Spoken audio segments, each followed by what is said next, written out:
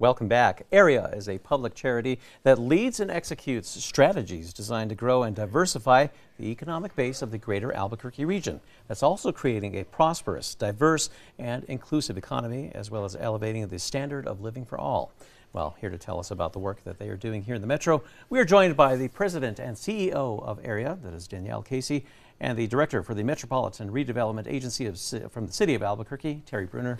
Uh, it is both great to have you with us. Thank you. Good morning. Absolutely. And so we always get excited when you come on. You know, this is exciting to hear how things are going to be, you know, kind of picking up and blossoming and, and really helping out the economy in so many different ways.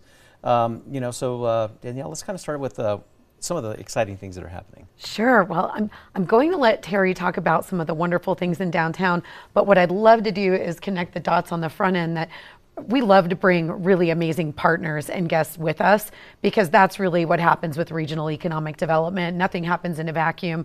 And from a perspective in terms of downtown and the criticality of downtown, all of our business and industry, all of the consultants that are advising companies on their next market to pick, they all look at the health and vibrancy of your downtown as a major guidepost as to whether they want to locate in the community. So we think that uh, our downtown vibrancy is absolutely critical, and AREA is a huge supporter of the wonderful work that the MRA is doing there, as well as across the city, uh, which is important to remember. Kind of sounds like it's, it's the place to be, right?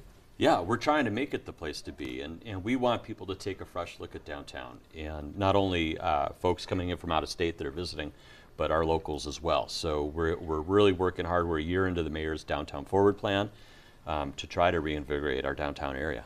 Yeah. And so when we talk about that, I mean, and, and again, there's, there's, like you said, the partnerships that we highlight the different areas in the metro that are going to be like, you know, popping in and where you want to attract um, some, some economic perks. Uh, Danielle, right now, why is it important to have that regional economic development just throughout the area? Well, companies pick markets.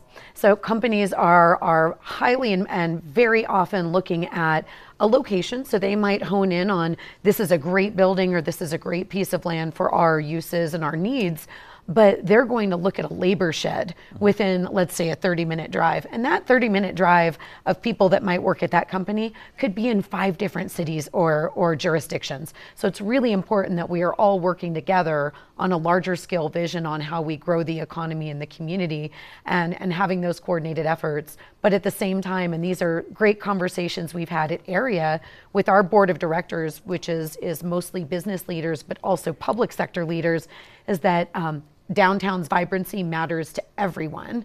It matters to people in Sandoval County and in Belen, and of course in Albuquerque City proper and downtown.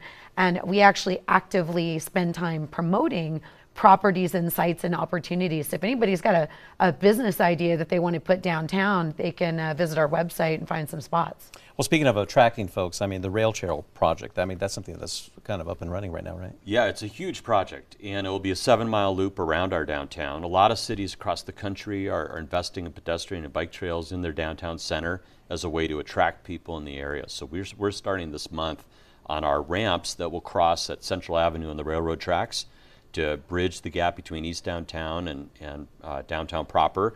And then also, hopefully, starting this spring on a sawmill section of the rail trail. And that's really going to be an attraction for people statewide. Is there will be things to do on that trail besides just the recreational aspect. We hope to see a lot of commercial development and opportunities for fun on the trail. We think it will bring people back downtown. Yeah, another incentive for business to come back to the uh, to the metro and especially downtown. So, uh, Danielle, where can we find more information on AREA? abq.org. But if you want to put a business in a facility anywhere in the region, but especially downtown, abqsites.com. All right. And City of Albuquerque would be just www.cabq.gov. All right. Thank you both for joining us. We appreciate it.